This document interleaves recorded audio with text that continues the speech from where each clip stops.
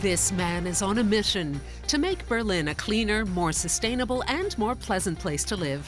Roland Prejawa decided that the city's transportation logistics needed a shakeup. His three wheeled urban cargo e scooters deliver to customers' doors all around the city with zero emissions. The idea is that the final section of the delivery chain needs to be greener. I need to be permanently on the ball, looking for the latest trends and developments and putting them into practice.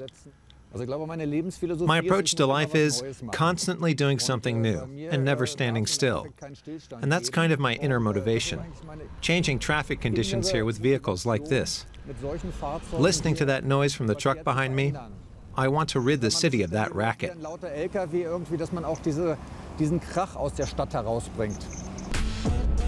Carbon neutral buses are now also an option. Prejawa is among the first in Berlin to convert these diesel double-deckers to electrical power. This depot also has a number of party buses redesigned by artists, which is used for public art events and installations. Prejawa has been involved in the field of mobility for decades. But the hard-working businessman also organizes art exhibitions and has entered the arena of local politics. As Berlin transportation spokesman for the Green Party, he was passionately committed to sustainable delivery traffic in the city. I was curious to see what politics actually involves and how politicians think. Business people tend to be the ones who initiate things. I'm hugely interested in art and find it exciting when you can appreciate the emotional perspective. And I'm very curious to see a new mobility. Which is why he founded Urban Cargo in 2016. Prejawa invested in a fleet of electrically powered cargo bikes and mopeds. All orders placed online are delivered sustainably. This is a depot where organic farmers outside Berlin leave their fresh produce to be picked up. The urban cargo couriers then deliver the goods to the farmers' customers. The new lightweight vehicles are available in a growing range of models. This scene is currently evolving and producing better and better vehicles, and a lot is still in the test phase. We stay in very close contact with the manufacturers when there's a problem somewhere, or where we see things that could potentially be improved, which then happens pretty quickly. The Tripl is an electric three-wheeler designed in Denmark. It has a range of 100 kilometers and a top speed of 45 kilometers an hour, plus a cargo capacity of 750 litres. It gives Prejawa more flexibility in urban traffic than the competition's diesel trucks, which block half a street while making a delivery. Plus, delivery is faster. For customers, that means goods arriving still fresh. Organic vegetables supplied with no carbon footprint to boot.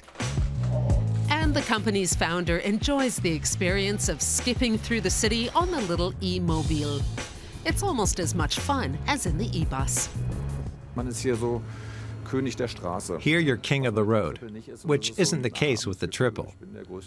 You get this superior feeling. I'm the biggest guy here. And of course, we also bore comfort in mind. Electric vehicles give a much smoother ride than diesel ones. You've got none of the shaking and juddering. You can drive far more smoothly through town than with a diesel vehicle. And an electric vehicle is also way nicer for tourists visiting Berlin. They can take a trip around the Brandenburg Gate with no noise, no diesel fumes, and a clean conscience. Prejawa's buses have a range of around 120 kilometers, which is enough to make several tours of Berlin per day.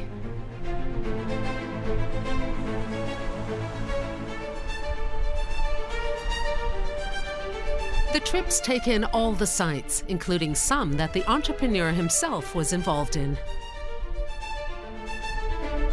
This watchtower used to guard the border between West Berlin and East Germany.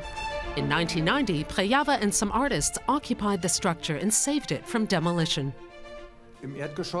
Down on the ground floor was where they used to store their guns. Over here was the detention cell, where they'd hold people who'd been caught too close to the wall.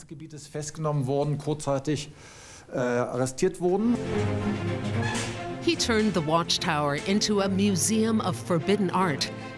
It still hosts art exhibitions and other events focusing on the legacy of the Cold War division of Germany, which for Prejawa also has a connection to sustainability. A healthy environment also includes healthy political and social conditions. But a healthy and sustainable future also has to include looking at the past, instead of just sweeping history under the carpet and focusing on the future. We have a lot to learn from the past. The e-bus then takes us to another stop on our journey through Berlin's cultural history. It now has a new location, but the original Tresor was instrumental in putting Berlin on the map as a techno music powerhouse in the early 1990s. Roland Prejawa used to be one of the club's managers. Electronic music and e-buses. It's obvious.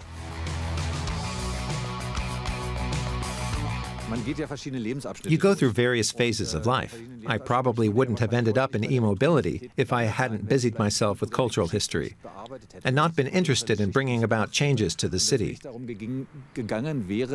The issue now is seeing the city evolve further to the next level. And for me, that starts with transportation. We need to ensure that the setup maintains the city's big appeal and that we're not suffocated by the traffic.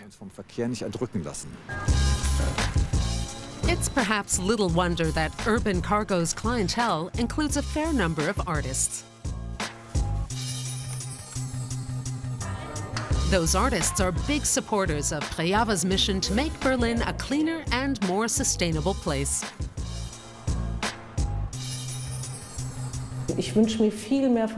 I'd like to see a lot more of these vehicles around the city. They add a bit of life to the streets, and they're a work of art in terms of design and concept. What is art? Art should also have an eye on the future. They're a project or object for the future, and they look great too. I always love seeing them.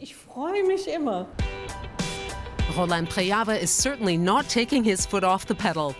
He's on an ongoing journey to make Berlin not just a cooler, but also a healthier place to live.